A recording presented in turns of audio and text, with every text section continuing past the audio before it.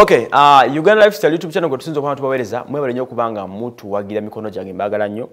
Uh, sho eno eya gundi ey'omukulu ono misa kisemakula yabaddeko ebikonge ate bangi nnyo abayimbi bagyetabyeko era bangi ababafominze omu ku babafominze mm, yabadde lydia jasmine weyagwiriddeko yagenze ku stage n'abafominga ku show the same show okwabadde n'omutanda kabaka wa buganda this time around yayambadde bulungi ekisooka.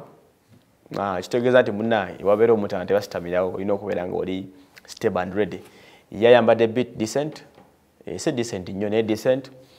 Teyabadde ngaawe waliwe twamukoddewo yabadde ku los angeles eh, I mean ku las vegas e kawempe so kintu kyabadde massive wano yambadde bulungi ne begwako ne rema. Babadde bekuba mufwe babadde you know kati emboozi ya rema. Ne lidia jasmine oba oyinza beeramu ki kyengezaako fumitiriza kuba kyo sakyodde kimanya rema uh, ne jasmine. I was like eh, boogera kuki nenjagala nsembere naye munnaye nga tebatuganya kutuka kati emboozi fumitirizamu emboozi ya rema uh, ne jasmine ki ekizo gibeeramu ddala nga omukyala gwe bakusongeramu engalo bakusongeramu engalo nti oyo gumulaba oyo alina obuzibu ne bbaawo you know. Kyekyo naye ng'ayomisa kisemakula kikyo wa-